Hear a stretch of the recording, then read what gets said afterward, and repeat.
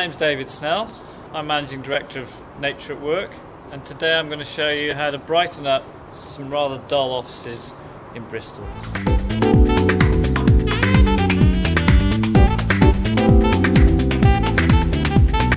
We're going to try and match the pots to that.